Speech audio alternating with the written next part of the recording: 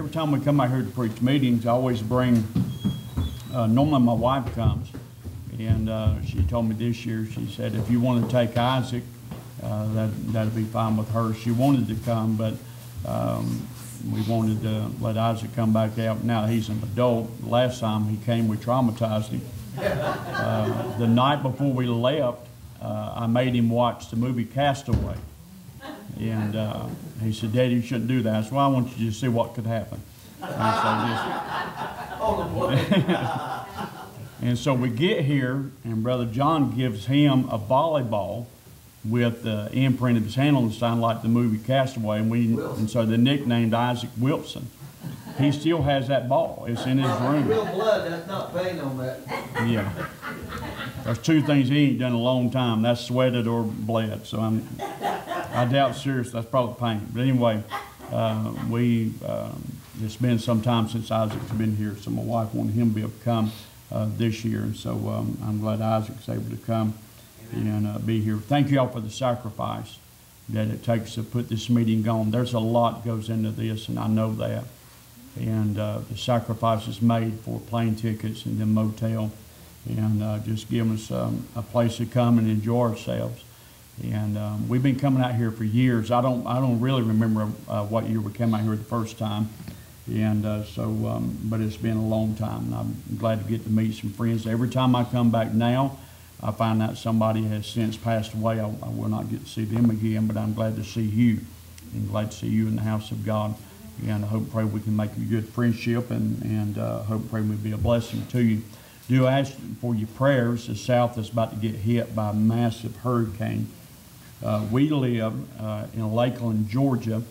Lakeland, Georgia is uh, three and a half hours south of, of Atlanta. That's how far uh, into the south we live. I can be in uh, Jasper, Florida in 30 minutes. I can be at the Atlantic Ocean at uh, Jekyll Island within two hours. I can be at the Gulf of Mexico within two hours. That's how far south I am.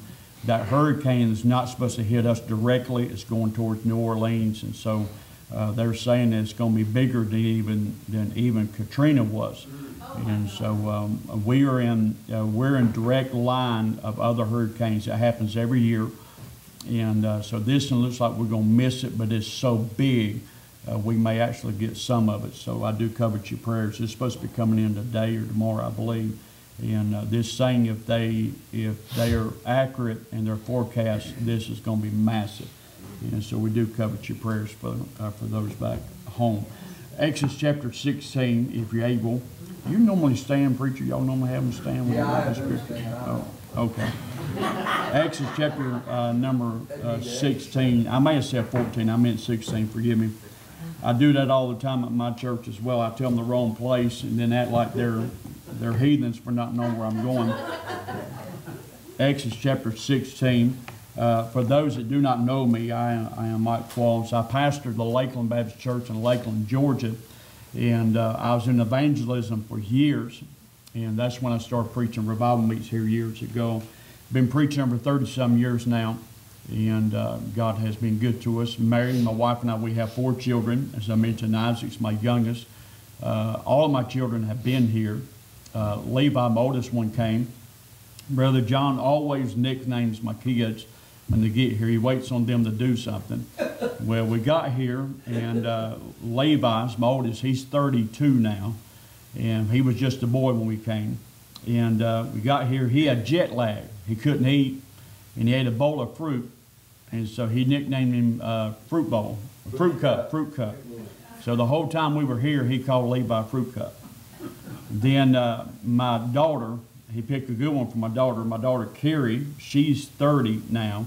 She was just a young teenage girl when she came the first time, and she made the mistake of saying something, burned her lips, and he's nicknamed her Hot Lips. then the next year, my next child came, Aaron, my third uh, child, my middle uh, son. Aaron is 29 now.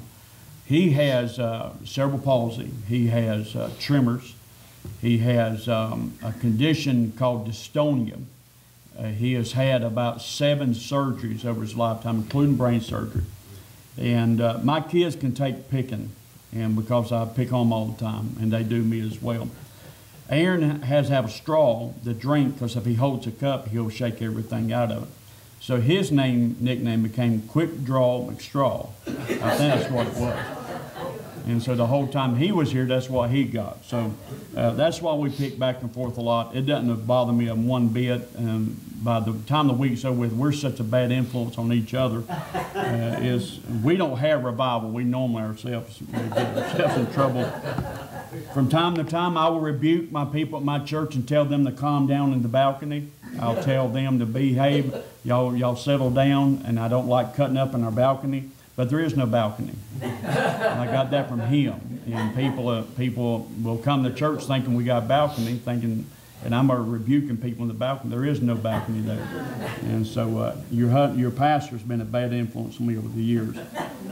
Exodus chapter 16. If you're able, like, I want you to read, and you can look with me in verse number 14 through verse number 21. The Bible says, when the dew that lay was gone up, Exodus 16, verse 14. Behold, upon the face of the wilderness there lay a small round thing, as small as the hoarfrost on the ground. And when the children of Israel saw it, they said one to another, It is manna. But they wist not what it was. And Moses said unto them, This is the bread which the Lord hath given you to eat. This is the thing which the Lord had commanded. Gather of it every man according to his eating, an omer for every man according to the number of your persons Take ye every man for them which are in his sins. And the children of Israel did so, and gathered, some more, some less. And when they did meet it with an omer, he that gathered much and nothing over, and he that gathered little had no lack. They gathered every man according to his eating. Verse 20 Moses said, Let no man leave of it till the morning.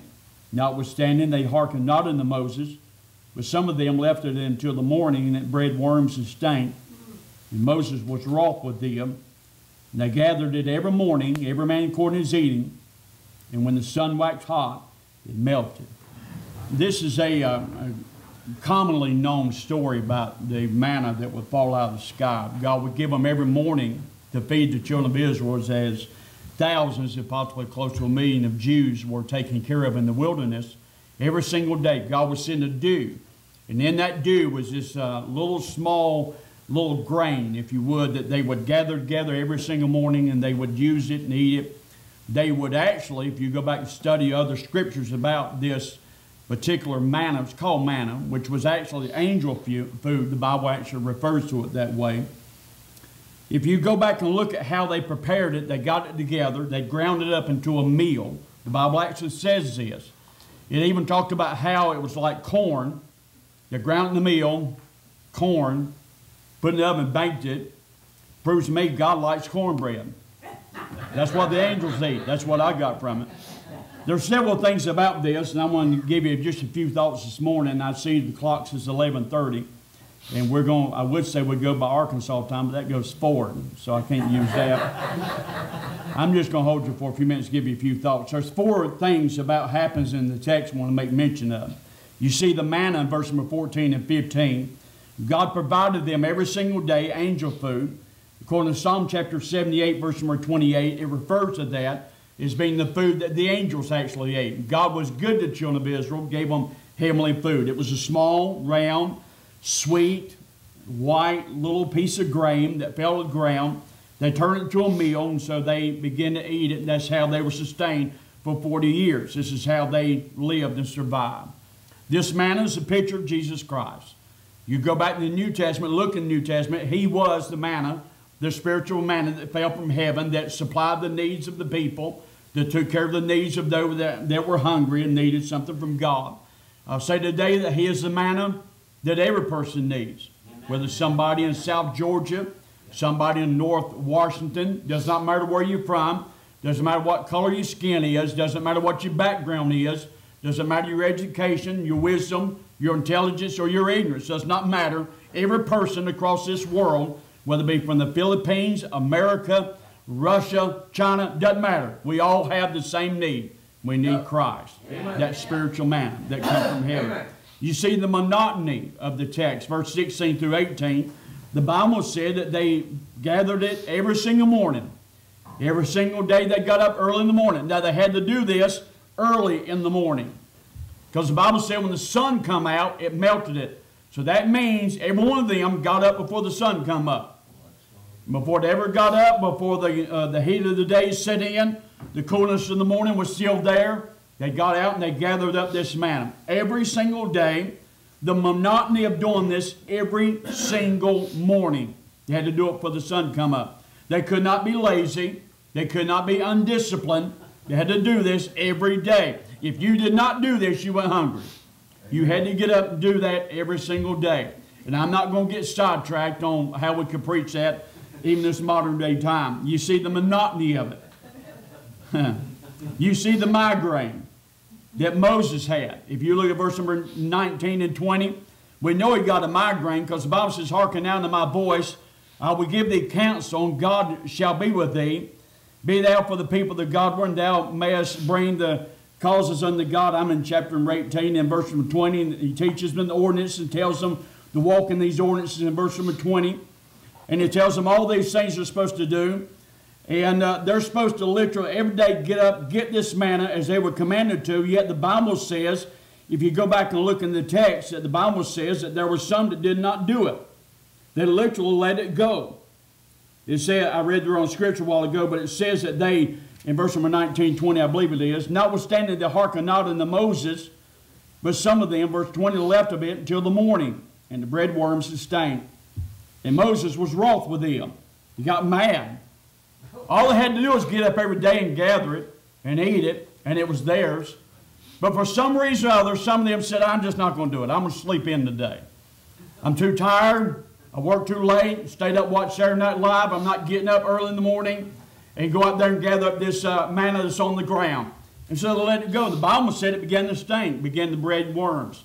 The Bible said Moses was raw, made him angry.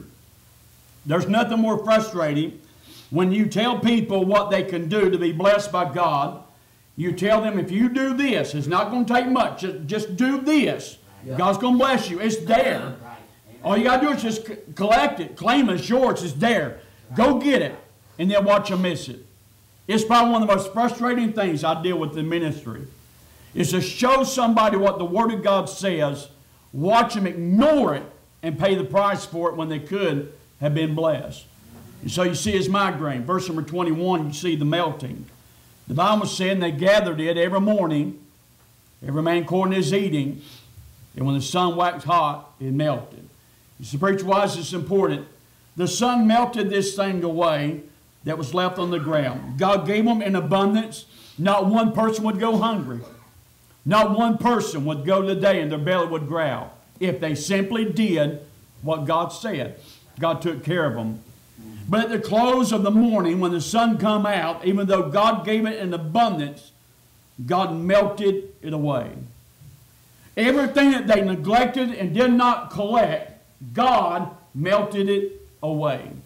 Look this morning, I'm looking through the scriptures at times, and there's three other times that God did this, well, three times specifically, that God took something and melted it into something else. And we'll preach on the simple thought of the ministry of melting. The ministry of melting. Why God dissolves something away, transforms it into something else. The focus this morning is how God melts things down in our life. Now, the word melt is mentioned 38 times in the Bible. I'm not going to mention all 38. I'm only going to give you three times that he does this. When you melt something, you're turning a solid into a gel or a liquid or even a vapor. When you do that, many times it can be mixed with something else to create something good. But to do that, it requires heat, it requires trauma, and it takes time to do this. This applies spiritually. When God morphs one thing into another through the process of melting, it takes time and heat and patience. And once He does that, then it can be turned into something positive. I want to show you three times he does this in melting. It sounds like a real left brain thought, but if you'll stay with me, Lord, help us this morning, I believe that in my heart. Now, melting is mentioned throughout the Bible, but I just want to focus on three times in the book of Exodus that's mentioned. First of all, my text. Why would God melt this manna every single morning? Why would God decide to do this and melt it away? The reason is simple. that when they neglected the manna, the manna would begin to breed worms and it would begin to stink. So God let it begin to melt under the heat of the sun. So every single day, if they made the mistake of not gathering the manna up and then messed up in their relationship with God by not gathering the manna, God melted it away. The next morning, He gave them a fresh, fresh batch of brand new manna. This is teaching us that God daily will melt away your mistakes you made the day before, and God will give you a brand new chance the very next day. The mercies of God are new to us every single day. Amen. One thing you have to understand about human nature we at our best are going to fail. We'll make mistakes, we'll trip ourselves up. You think you're going to have a good day today, you start off pretty good, read your Bible for, for a few moments, you may pray a few minutes, go to your job, do what you're going to do, so I'm going to have a good day. Before the day's out, you trip up. You make a mistake. You do something you know dishonors God. You feel bad about it. You Lord, I, I messed up again. Lord, forgive me. I wish, I wish I could start over again. Well, you can't. Amen. But God melts it away. The next morning you wake up is a new day. God gives you another chance at it. Amen. God another time that you try to give. I am thankful. I'm not justifying sin. I'm not saying, well, you mess up, don't worry about it, it's all okay. I'm not saying that. There's a price when we make mistakes. There's a price that we have to pay when we sin. But the fact of the matter is, we all fail God almost every single day of our life. But I got good news. God melts it away. Amen. God's grace can forgive it. God's grace can give you another chance, and you can start all over again the very next day. Is it not interesting that when they took the manna and they gathered the manna, they baked the manna? Now, this is what's interesting. They literally gathered it up, they ground it into a meal, they added stuff to it, then they put it in the ovens and they baked it. Is it not interesting that the manna could handle being baked in an oven but could not handle the sunlight? Mm-hmm. Why would God do that? God said that manna can handle being baked and sustain you and bless you. But God, in His sovereignty, so worked the ingredients of that manna that if it was brought into the presence of the sunlight, it melted away. The reason being is this if you gather it and you do what you're supposed to do, with it, I'll bless you and feed you. If you don't gather it, I have already worked in the system of the manna that it can't stand sunlight, it has just simply melted away. I'll be honest with you, Dave, as a preacher, I made a mistake. I messed up. Join the club. Preach, I trip up all the time. Join the club. This is not about being the perfect saint.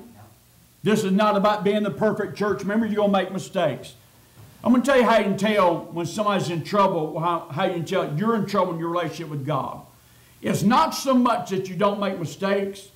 It's when you make mistakes and you do things that you know doesn't honor God and you no longer you no longer feel the guilt of it.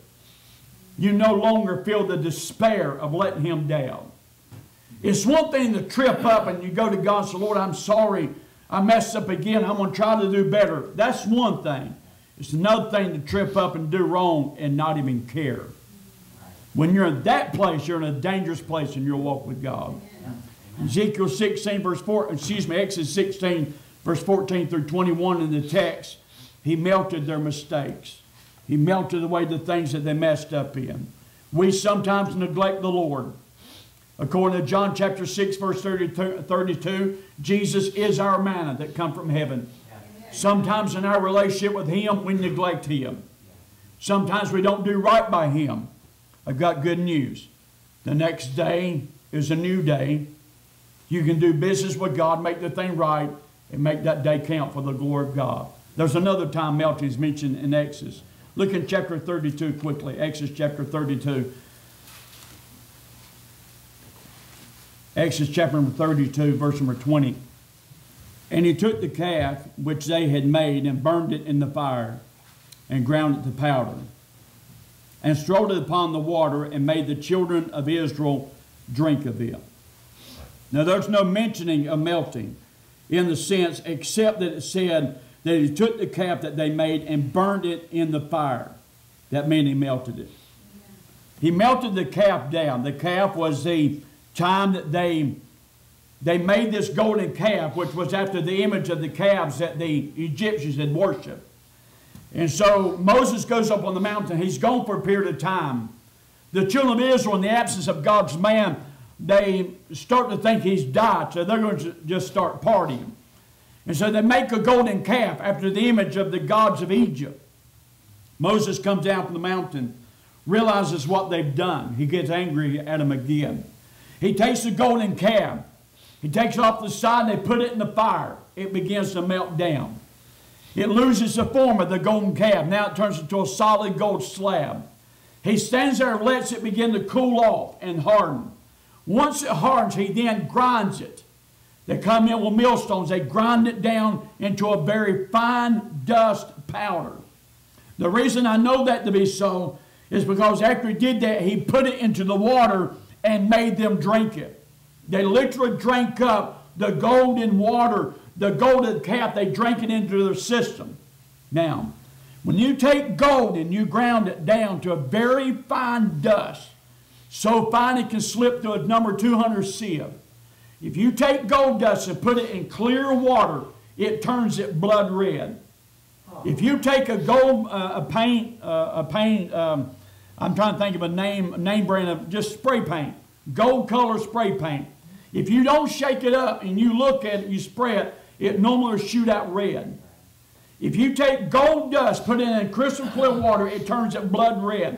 The picture is this, is that the blood of Christ has to cleanse them of the mistake that they made of idolatry and sinning against God. Amen. This is a more severe case than what happened with the man.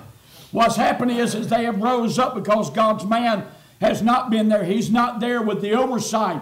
And so because of that, they turn this calf, they make this calf. And so he melts it down. He grinds it to a fine powder. They put it in the water and they have to drink this up.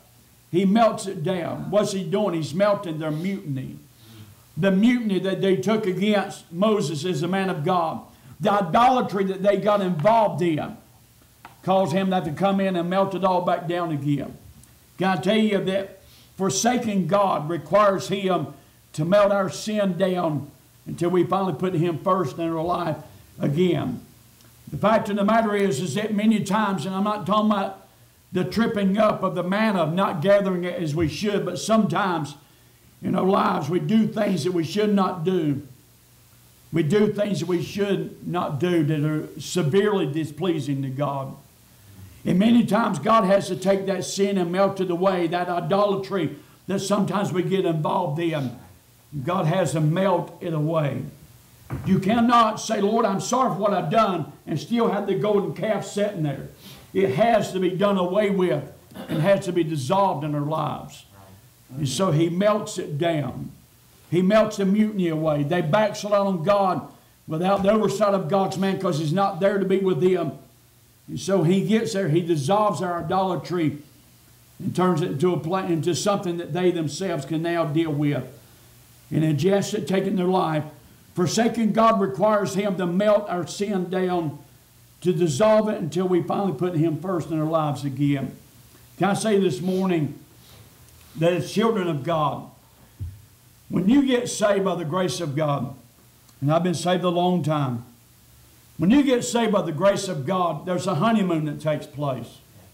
Many times you'll see somebody come to altar, or how you do it here, many times the pastor will pray, and that person in the heart will give the heart to Christ, or however you go about that. The sinner gives his heart to Christ. What happens is, many times, that individual will feel such a relief. They feel the burdens off their back of their sin, and they get saved by the grace of God, and then the honeymoon's on. Things start going pretty good. The birds start singing louder. The sunsets become more beautiful. Things are going really good. And the first thought the person has is, I should have done this a long time ago. Man, this is great. I feel like the whole world's off my shoulder. But there's something going to happen. God allows that to go for a period of time. Maybe a week, maybe two weeks, maybe a month, maybe several months, maybe a year. that God allows them to have that spiritual honeymoon with things that seem like fall in place. But somewhere down the line, God's going to require what He bought. What I mean by that is when God requires what He buys, is that God begins to let adversity come. God begins to let things happen in the life that's not necessarily enjoyable. So, preacher, why is that? The literally the sun comes out, begins to beat down on them, and God begins to chip away out of their life things that dishonors Him. God begins to mold them and shape them into the image of His Son. Can I tell you, God didn't just save you just to save you from hell. Amen. And God didn't save you just to save you from your problems. Right. God saved you to conform you to the image of His Son to make you look more like Him. To get to that point, you're going to have to go through some adversity. So God will start chipping away. He'll bring problems in. And those problems begin to form you into be what you should be for God. Every person I've ever met that have lived a life where they honor God, and you get around them and they're special people, every one of them have gone through a lot of problems. And they've simply kept their eyes on God. They've understood that this is a process. God paid for me when He saved me. He has the right to do with me what He sees fit, and He lets adversity come. I'll be honest with you. I mentioned my middle son, Aaron. I have not enjoyed all the surgeries I've watched my son go through. I'm not sitting there and saying, boy, God sure is good. There have been a lot of times I've sat there with tears going down my cheeks. And it's not fun when you see your son have one of those halos bolted into his head and knowing that they're drilling holes into his skull and, and going in and doing the work in his brain. That's not enjoyable. But when you go through something like that and you say, Lord, your will be done in this matter, you do what you want to do with this. There's a reason why you're doing this. And my son this morning is already, he's in church. He's faithful like clockwork. He's in the house of God. And so when you go through things and you say, Lord, this is your hand on my life, not everything that comes in my life from you is always going to be positive. Sometimes it's going to be negative. You're going to bring some bad things in my life from time to time. But if I keep my eyes on you, I'll look more and more like Him. Yes, amen. so God brings it, He melts our mutinies, He melts our mistakes. Exodus chapter 38, just one more verse and rate. My stomach's growled twice. And when the preacher's stomach growls, if he preaches long, there's something wrong with him. Exodus chapter number 38, verse number 8. There's one more thing he melts, and this one he melts our motives. Exodus 38, verse 8. And he made the laver of brass, and the foot of it of brass, of the looking glasses of the women assembling, which assembled at the door of the tabernacle of the congregation. This is the building, Brother Art was uh, dealing with the tabernacle, temple, and how it's built and the measurements and all that.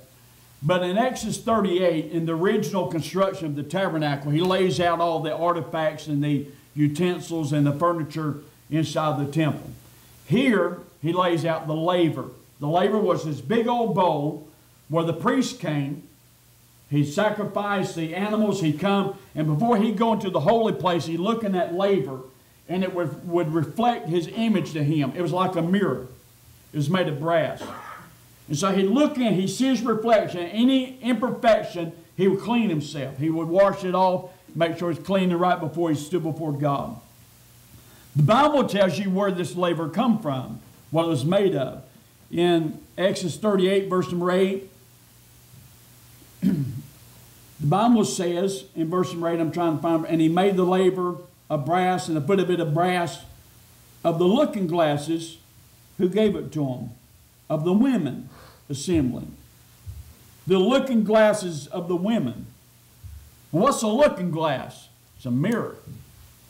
And what it was is that when it come time to build this laver, this big bowl of brass, to do that, what they needed was very fine brass that would reflect, because they didn't have mirrors like we do today.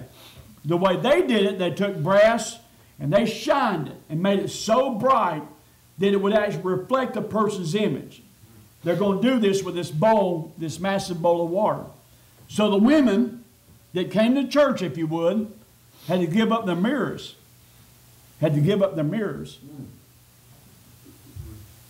Had to give up their mirrors. Had to give up their mirrors. Now, I know the men's got one in the men's bathroom, and I hadn't gone and explored in the women's bathroom, but I assume you have a mirror women's bathroom. Right before I took the Lakeland Baptist Church, a year before I did, they built a new building. Beautiful building. And all the bathrooms have that main thing you got to have, and other than the toilets, they got mirrors. The men's bathrooms got it. The men are just as vain as the women.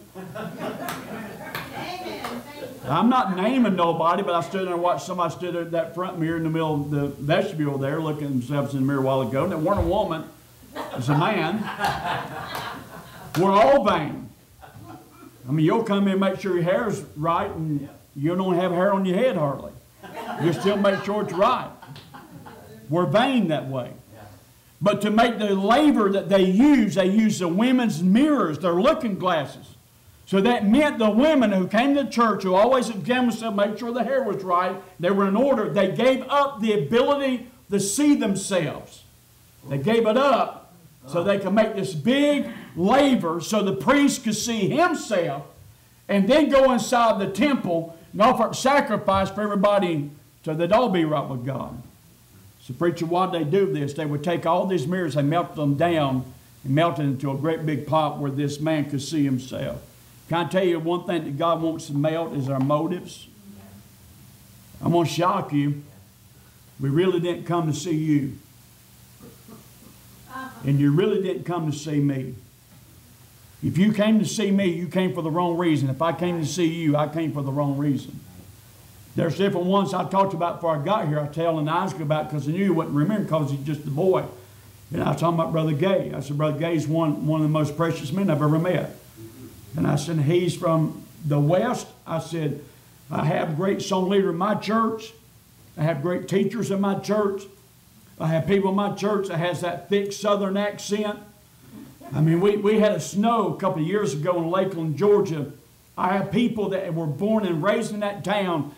I'm talking about adults that put on Facebook of snowmen that they built that were that big. They had never seen a substantial snow in their life. We're talking about people in the 20s and 30s, and they're going, they're going nuts. Look at the snow. And I'm going, man, y'all embarrassing me. Build snowmen that tall. Thrill the day, and it literally was a dusting of snow. You just don't get snow in South Georgia. It just doesn't happen. All we got is heat. We got two seasons. Y'all got four, we got two. Hot and hotter. I didn't bring a jacket. I didn't think I needed a jacket. I said, Did you bring a jacket? Said, No, son, is we're talking about August. When we when we left, it's 95 degrees, humidity was in the upper 90s. And son, you step outside and you you can forget a shower. And so that's kind of, but I've got godly people in my church. But there's godly people in this church. Amen. Thank God there is.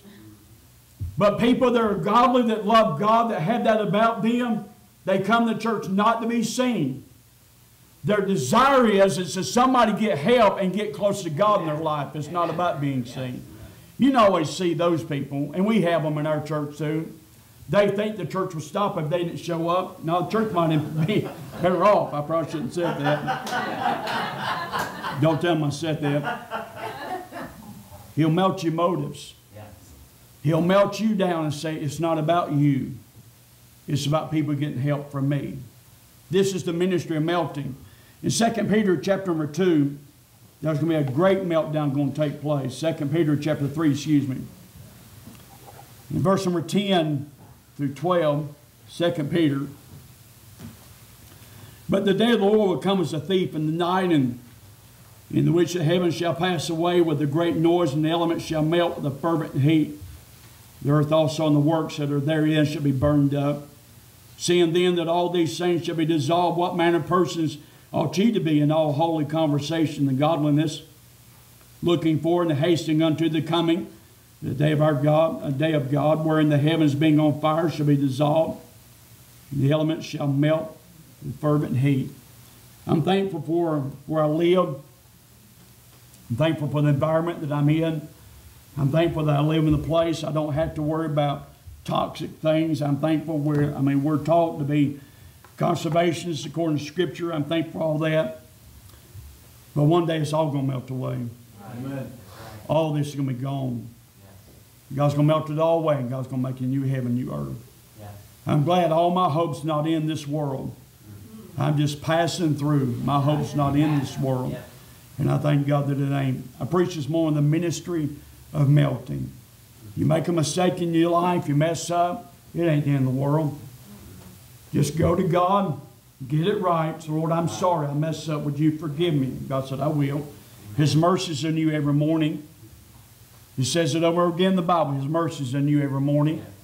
And the next day you start all over again. If you made, if you got in sin, you're not where you should be with God. I've got good news. God can melt that away too. You get that thing right, get in the blood of Christ, make that thing right. And also on this simple thought, in your life and serving God, if you'll give yourself up to the things of Christ, let Him have His way, somebody else can get some help. These women giving that looking glass up, I'm telling you, that's, that's, that's big. That a woman would give up her mirror and say, I want somebody to be able to get, be able to see themselves, so I'll give up the mirror, and that's what it means. When we come to church and we realize it's not about us, but it's about seeing Him. And that's what this revival means about. It's not about us, it's about seeing Him. We'll have a